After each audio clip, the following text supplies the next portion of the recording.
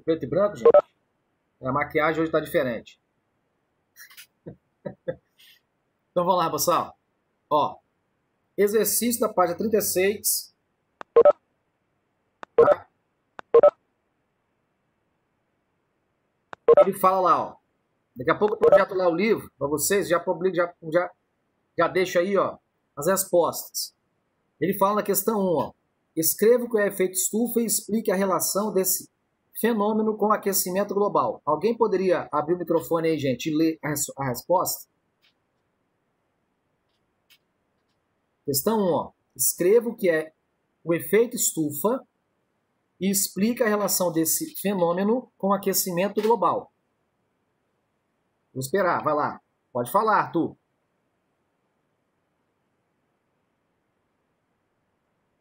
É um fenômeno causado pela junção de diversos gases que controla a temperatura do planeta. Uhum. Mas ele, em excesso, forma um aquecimento global.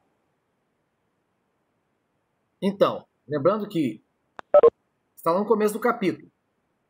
Quando eu falei efeito estufa, nós temos gases na atmosfera, tá? nitrogênio, oxigênio, neônio, argônio, hélio, xenônio, ozônio, gás carbônico e metano. Todos esses gases que estão em menor percentual na atmosfera que são os responsáveis por prender o calor aqui na troposfera.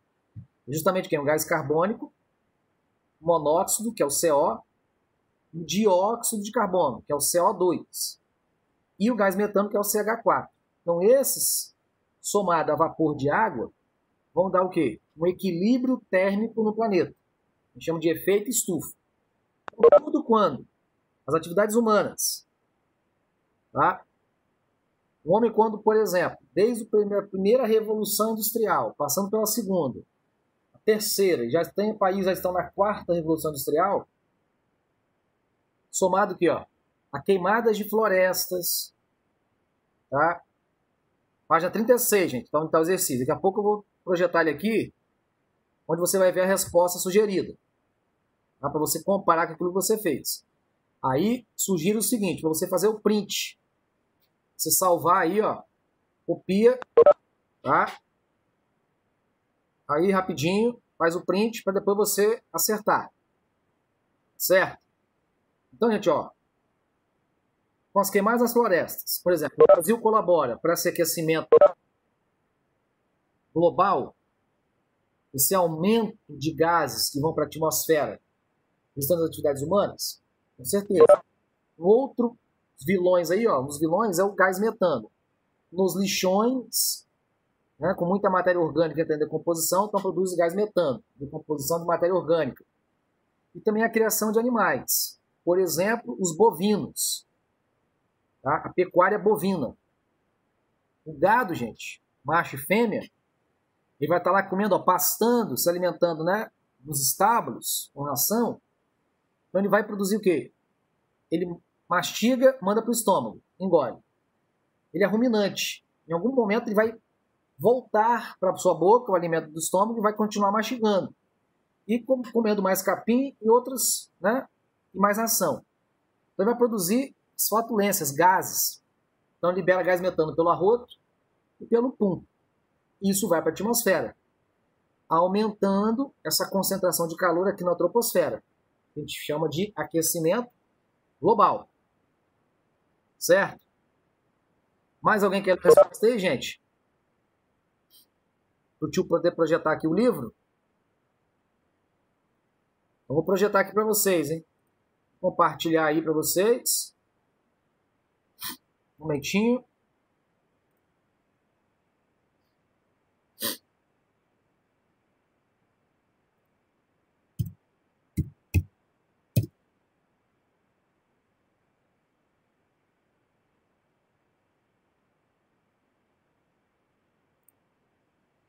Momentito, momentito, pode projetar, beleza. Isso aí.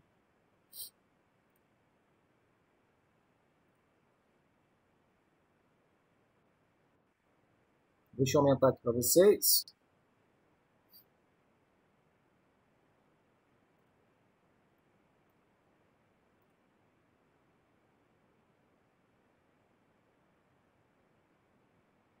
Olha aqui, galera, ó.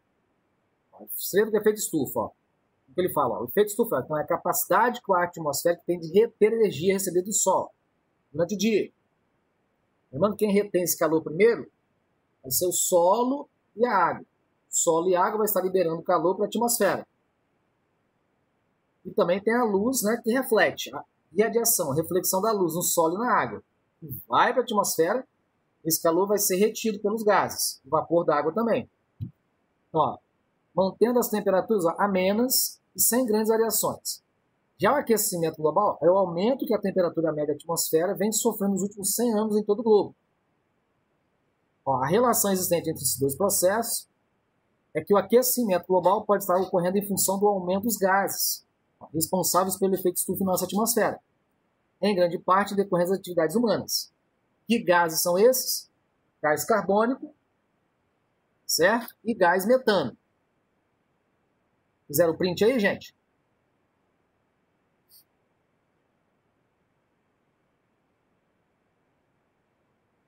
Ah, beleza. Quem tirou a foto, maravilha. Né? Então se adianta aí do nosso lado.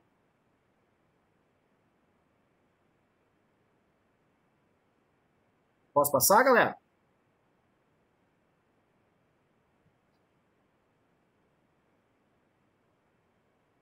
Alguma dúvida aí, pode falar, tá? Tá jóia. Na questão 2, ele pede, ó, relacione as colunas de acordo com o início das estações para os hemisférios norte e sul. Olha só, galera. Ó, 21 ou 22 de dezembro. Está relacionado a solstício ou equinócio?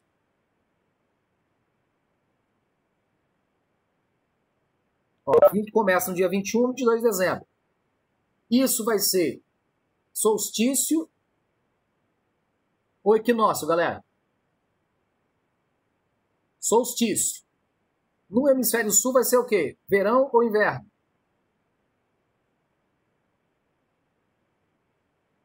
No hemisfério sul vai ser. No hemisfério sul vai ser verão, gente.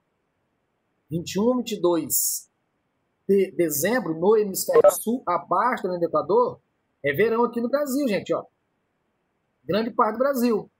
Uma parte do Brasil vai ser solstício de inverno, mas não é garantia de ter temperatura de inverno. Lá nos estados do norte do Brasil.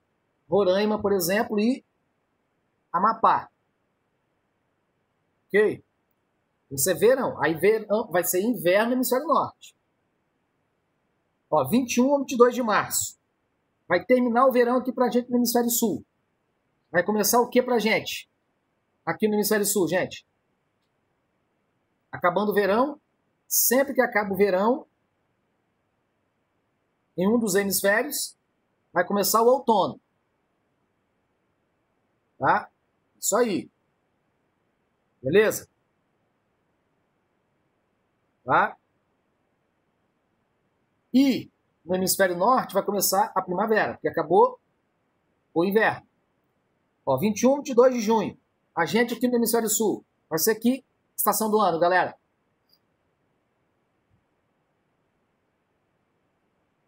Vai ser o inverno.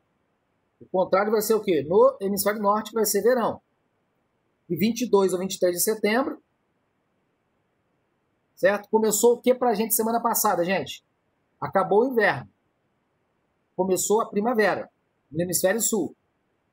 Acabou o verão no hemisfério norte e começou o outono.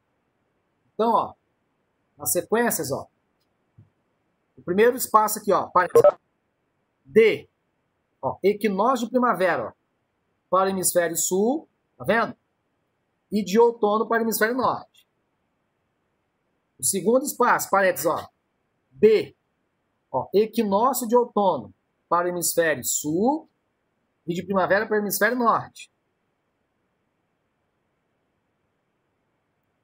No terceiro, ó, A, solstício de verão para o hemisfério sul e de inverno para o hemisfério norte. E o último, ó, solstício de inverno para o hemisfério sul e verão para o hemisfério norte. Beleza?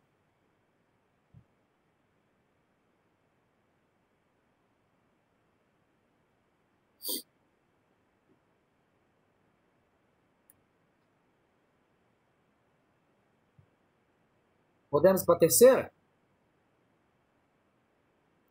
Olha lá, na terceira ele pede, ó, responda as questões a seguir. Ó. Qual fator determina a alteração da incidência da energia solar sobre a superfície terrestre no decorrer de um ano? Galera, no decorrer de um ano, a Terra, de um ano, 365 dias, 5 horas, alguns minutos. A Terra faz qual movimento? Qual movimento, galera? Em um ano?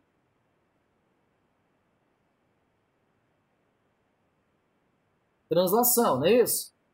Lembrando que em datas específicas, você vai ter a posição da Terra recebendo radiação do Sol.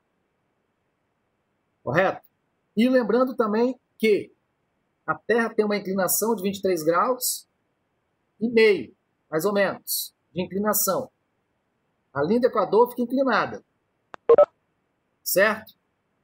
Então, essa inclinação, quando, por exemplo, vão ser equinócios, começando primavera em um hemisfério e outono em outro, e vice-versa, você vai ter o quê? No equinócio, um equilíbrio de radiação solar nos dois hemisférios. Então você vai ter praticamente 12 horas de iluminação no início dos equinócios e 12 horas de escuridão. Enquanto que no início do solstício, inverno em um hemisfério e verão em outro, você vai ter um dia mais longo no hemisfério que vai ser verão tempo de iluminação maior, consequentemente, tempo de escuridão menor. Quando é inverno no outro hemisfério, o tempo de escuridão é maior e de iluminação é menor. Então vai depender o quê? Da chegada da radiação solar, quando a Terra tem o quê? Uma posição de inclinação em relação à linha do Equador diferente. Então, quando o hemisfério em, em junho, por exemplo, o hemisfério sul vai receber menor intensidade de radiação solar, então vai ser inverno. Enquanto que o hemisfério norte vai receber mais radiação, maior intensidade. Sobre a linha do Equador e o Trópico de Câncer. Aí em dezembro, o hemisfério sul vai estar recebendo maior intensidade de radiação solar e o hemisfério norte menor. Correto? Então a letra B, ó. Olha o que ele fala, ó. Essa diferença ocorre pelo fato de que o eixo de rotação da Terra é inclinado em relação ao plano da órbita da Terra, ao redor do Sol. Por isso, em determinadas épocas, é o hemisfério sul que recebe os raios solares de forma mais direta, e em outras, o hemisfério norte, alternando, as estações do ano. Faz o print aí, gente. Fizeram?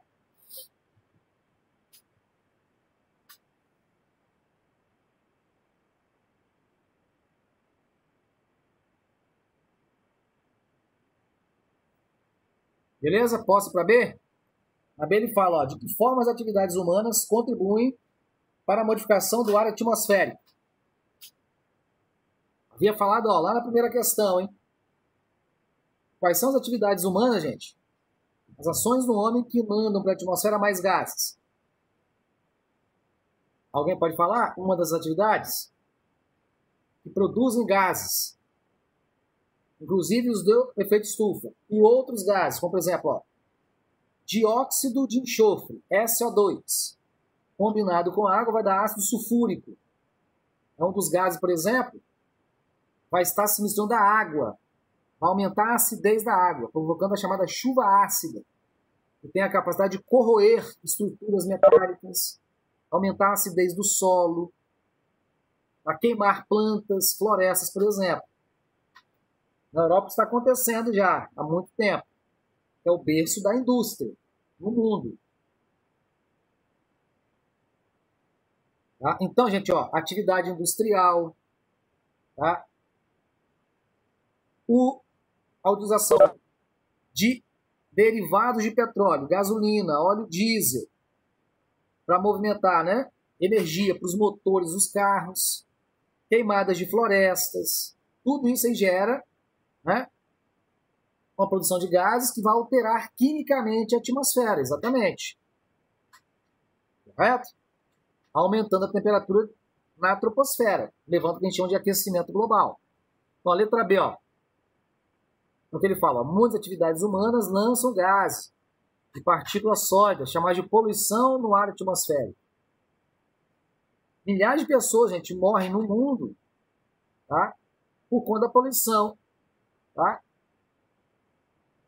Ó, são exemplos de atividades humanas relacionadas a esse processo, atividade industrial e os veículos automotores. A poluição altera a composição natural da atmosfera e modifica o seu comportamento. Faz o print aí, moçada.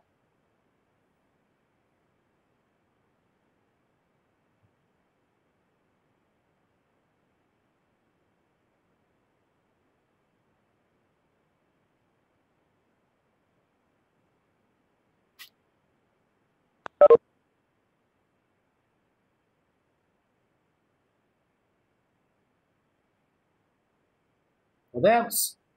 Questão 4, hein? Até a 4. Ó, ele pede você indicar as falsas e as verdadeiras, corrigindo as falsas. Então ali, ó, primeiro, ó, vou deixar aqui, hein? Ele fala: a Terra apresenta uma pequena inclinação em seu eixo, mas esta é desprezível e não traz consequências diretas para o cotidiano dos habitantes do planeta. Isso é falso, né, gente? Isso aí vai ser o que, ó? Essa inclinação, tá? Ela vai ser justamente responsável pela questão da alteração, né? Alternância nas estações do ano. Nos hemisférios norte e sul, não nos hemisférios leste e oeste. Porque a radiação solar chega aqui, ó, perpendicular à linha do Equador, em sentidos paralelos, horizontalmente, não verticalmente. Tá? Então ali, ó, corrige. É falso, ó. Faz a. Tira a foto, faz o print.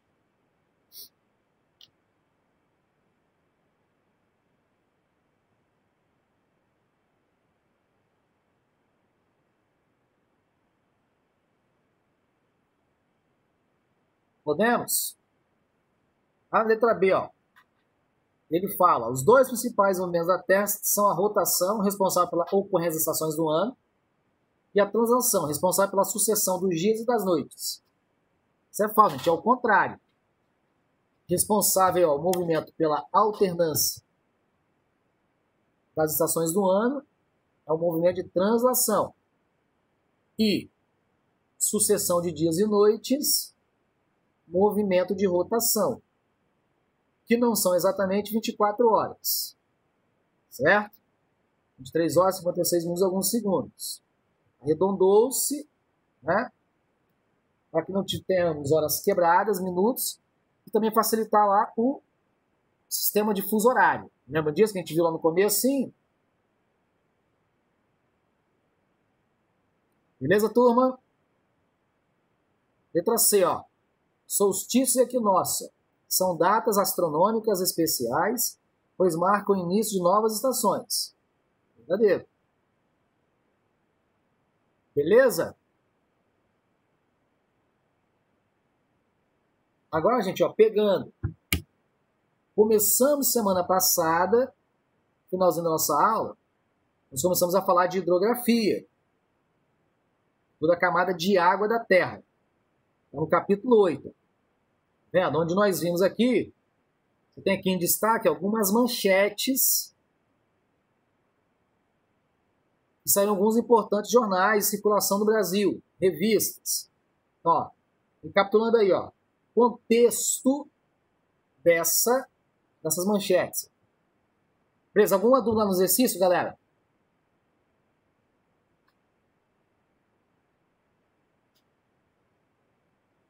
Beleza, então, ó, capítulo 8, ó, hidrosfera e ambiente.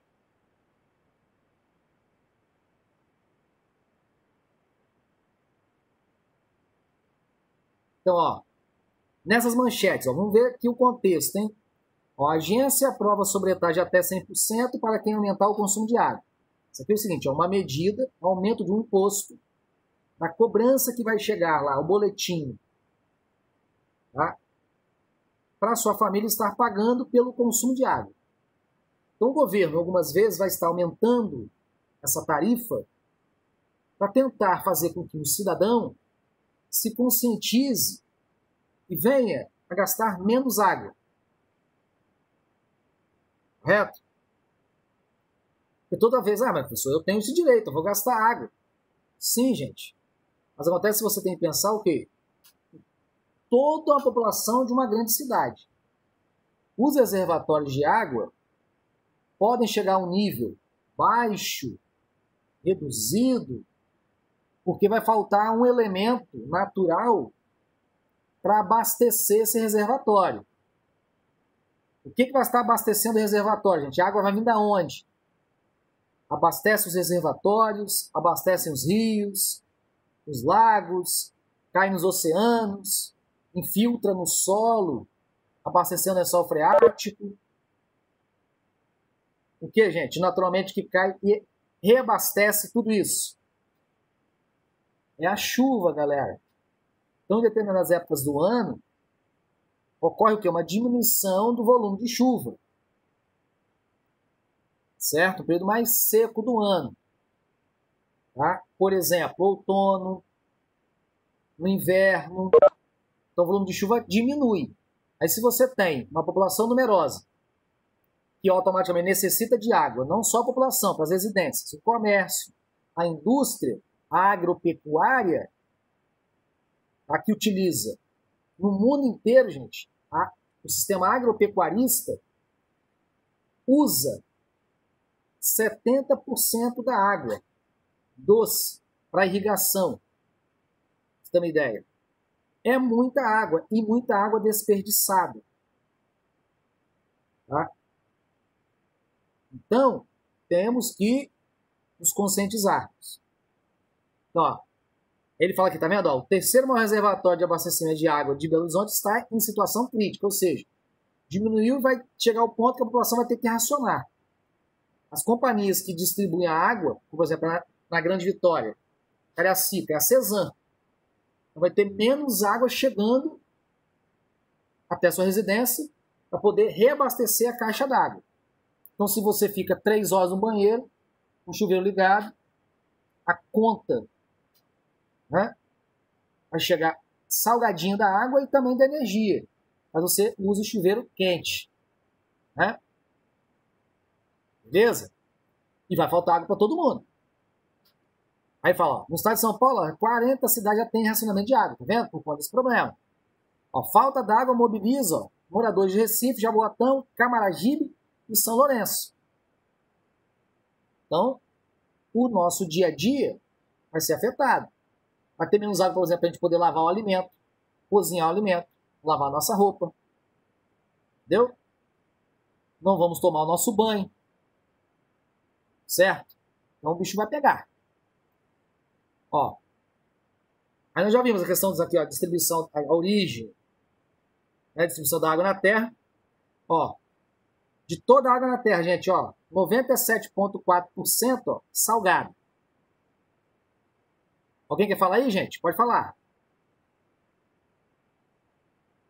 Eu, é, aqui em casa, na frente da minha casa, tem uma vizinha minha.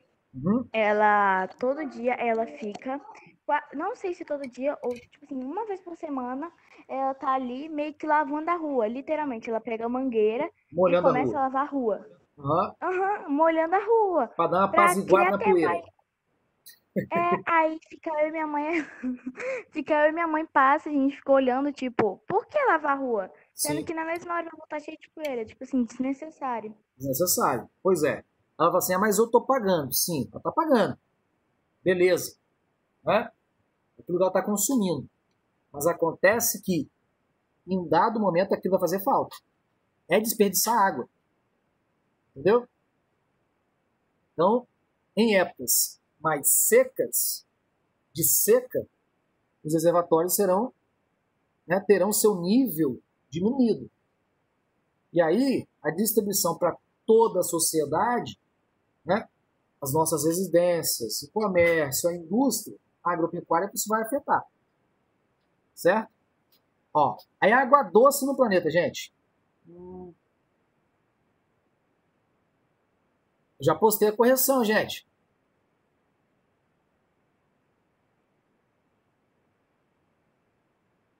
Já postei a correção.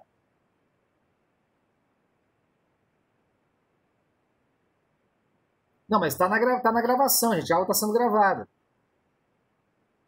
Joia, qualquer coisa eu faço o print e depois mando lá por mensagem para vocês. Faço isso também, tá bom? Pode ficar tranquilo. Beleza? Depois com calma eu faço o print e coloco a sequência das respostas. Pode ficar tranquilo que o tio faz isso para você depois, mais tarde. Joia? Ó, da água doce, ó. Desse percentualzinho aqui, gente, ó, 2,6%, existe obviamente um volume muito grande. Vou mandar o link também da gravação, pode deixar. Como tem sempre mandado. Então, desse percentual pequeno, 2,6%, gente, existe obviamente um volume em metro cúbico de água líquida e água sólida nas calotas polares. Então você está vendo aqui, ó, nas calotas polares, ó, no Polo Norte, Polo Sul, no Alto das Montanhas, 68,7%. Só que muitas dessas calotas polares estão derretendo, do que é o aquecimento da temperatura média na Terra. No estado que a gente fala o quê? do aquecimento global. Se essa água, do, essa, esse gelo está derretendo, está se misturando com a água salgada dos oceanos. Aí a população não vai se beneficiar dessa água doce. Certo? No subsolo, 30,1%. Daí, algumas famílias, por exemplo, de repente até alguns de vocês aí, ó, no sítio da família, na sua casa, você mora em casa em Cariacica, o seu papai, por exemplo, contratou uma empresa especializada na perfuração do solo, né, fazer um poço artesiano. Tá? Instalou uma tubulação, uma bomba, porque vai fazer a sucção da água, vai trazer água do subsolo para a superfície, jogando essa água, por exemplo, em caixas d'água. Certo? Tranquilo? Outras pessoas, por exemplo, não têm essa possibilidade de fazer isso. Em alguns municípios, isso é, inclusive, até proibido. Tá? Para não ter que tirar tanta água, isso pode estar afetando o quê? A, as nascentes de rios, por exemplo. Tranquilo? Ó, em rios e lagos ó, e outros, você tem 1,2%. Existe um volume de água em metros cúbicos. E o Brasil, por exemplo, é muito privilegiado nessa questão. Temos muitos rios, muitas bacias hidrográficas. Tá? E que estão aí correndo o risco, por exemplo, de é, na sua manutenção, devido ao desmatamento do topo dos morros, onde estão as nascentes, de todas as encostas e da mata ciliar. A gente vai voltar a falar aqui. Tá legal, galera? Tá beleza, ó. Pra quem já leu, ciclo hidrológico, galera. Ciclo da água. Turma, você já deve ter visto isso em ciências com a tia Fernanda. Tia Fernanda, tia, tia Roberta. Sempre confundo aqui. Né? Ciência tia Roberta. Já viram um ciclo hidrológico com ela? Sim ou não, galera? Sim, ó. Beleza? Então, quando a gente fala em ciclo da água, gente, ó.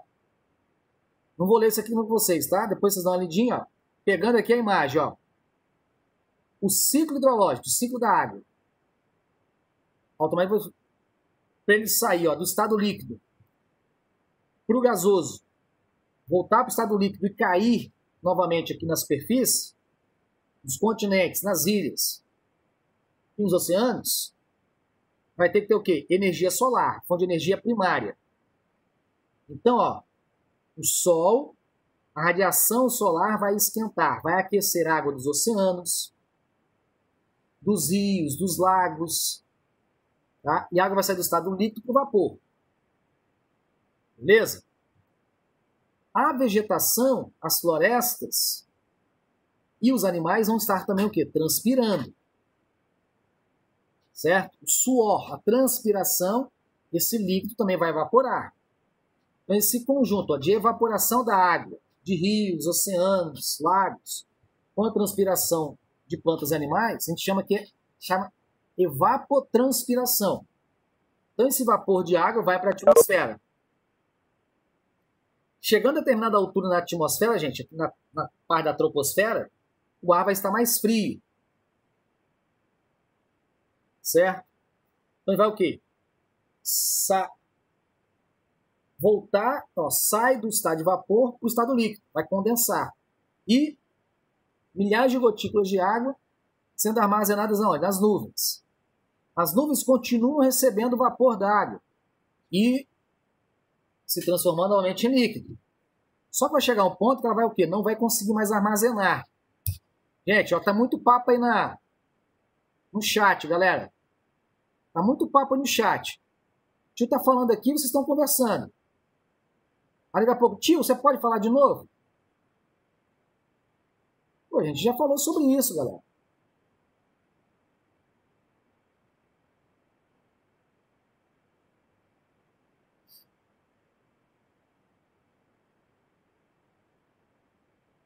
Então, o pessoal que travou aí, ó, tá falando o quê? Do ciclo hidrológico. Vamos parar de conversar, tá, gente? Tudo bem, tá bugado, não precisa falar, toda hora tá bugando, gente.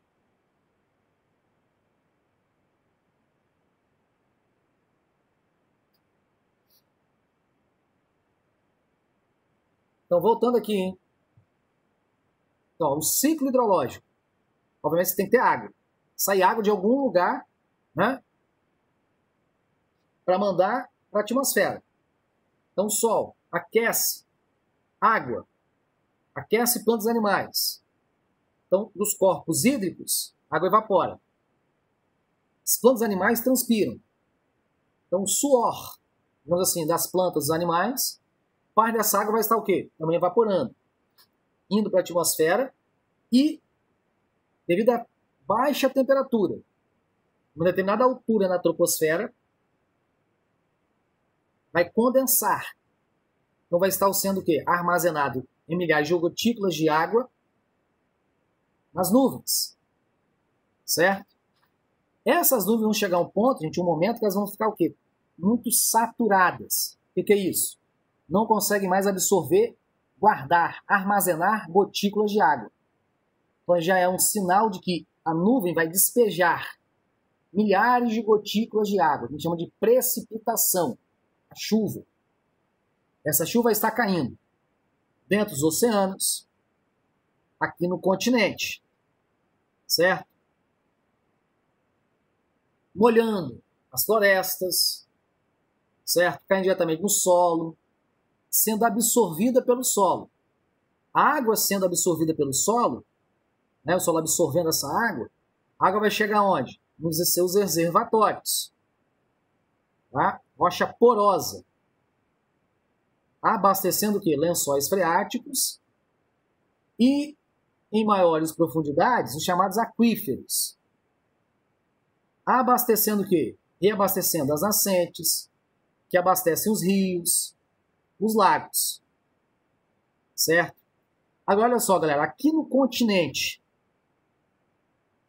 é necessário estarmos preservando, mantendo as florestas intactas, ou seja, vivas, para estarem cooperando para esse ciclo hidrológico?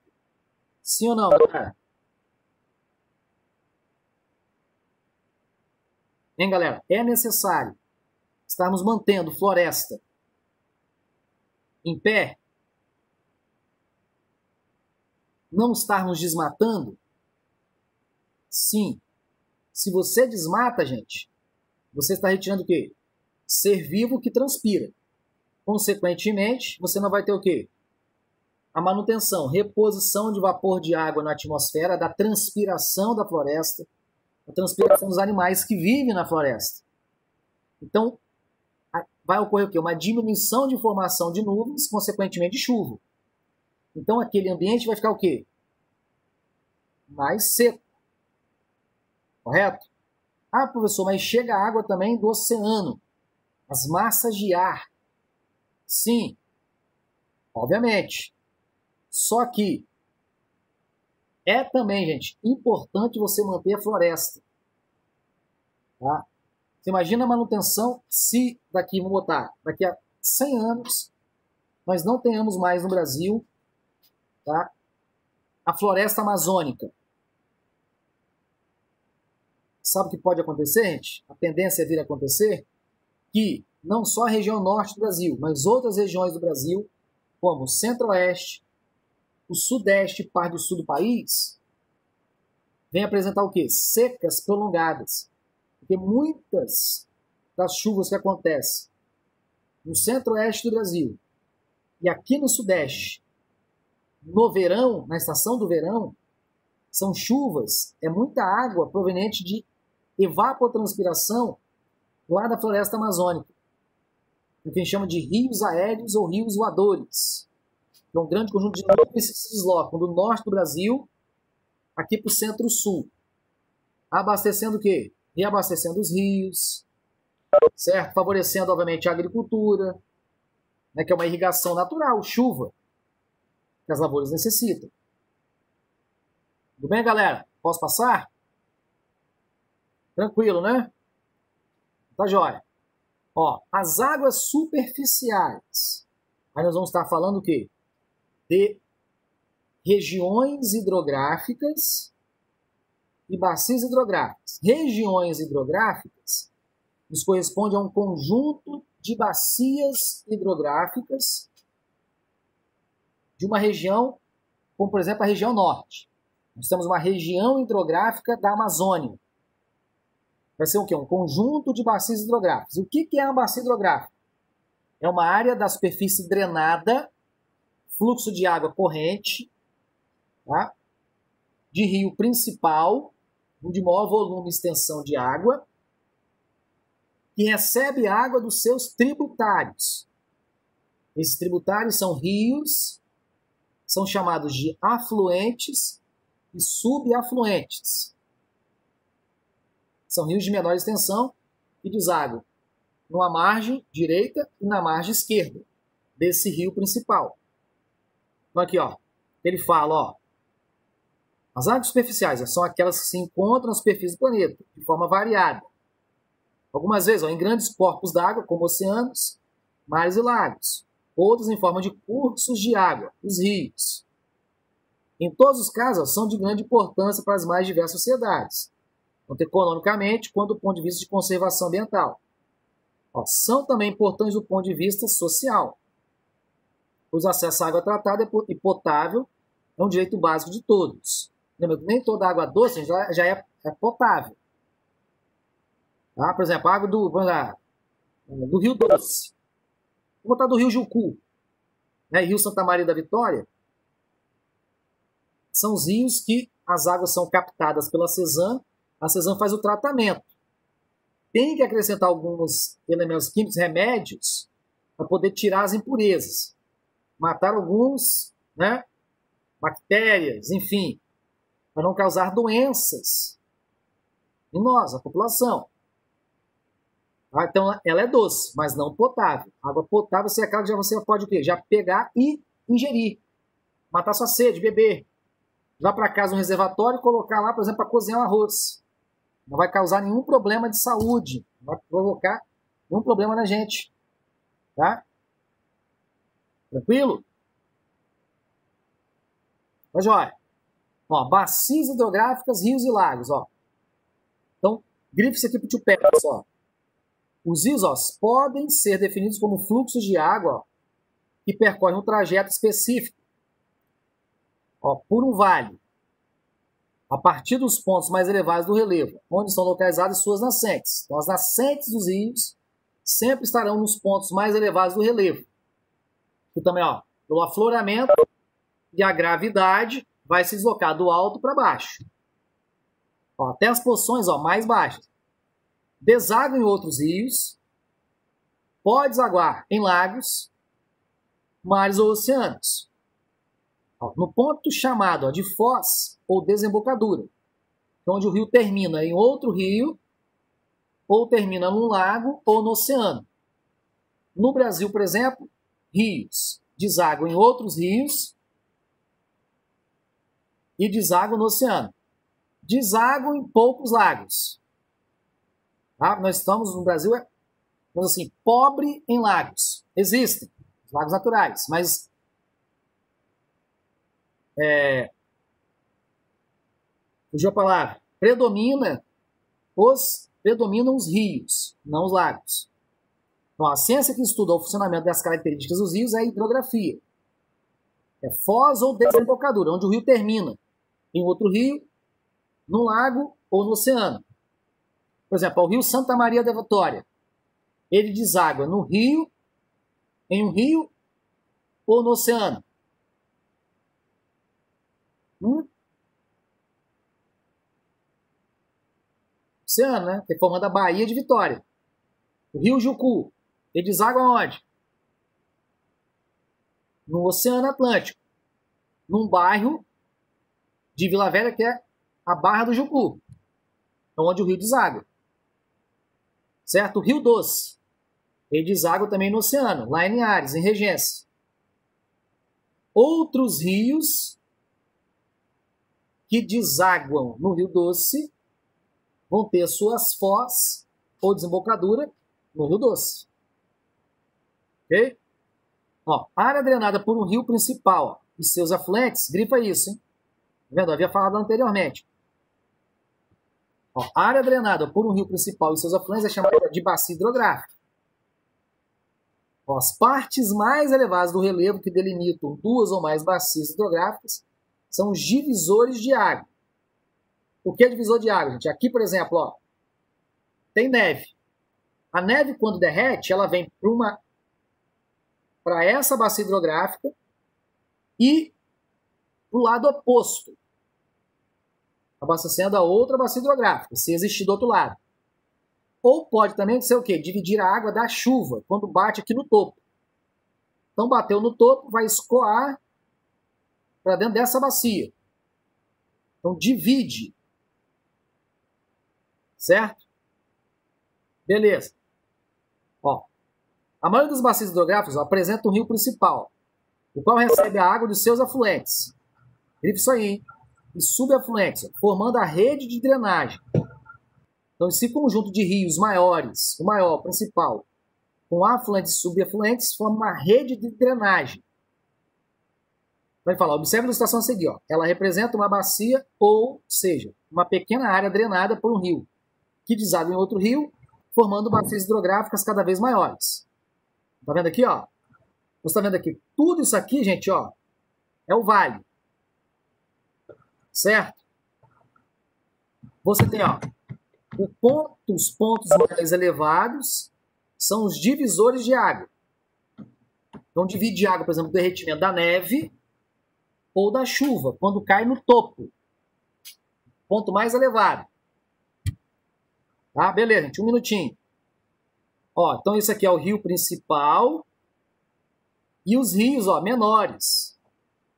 Vendo? Ó, que vem de, da margem direita e margem esquerda. Tendo também todos eles suas nascentes.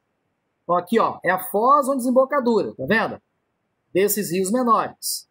E aqui é a foz desse rio principal, que pode desaguar em outro rio maior, no lago ou no oceano. Galera, ó, faltando pouco tempo aí.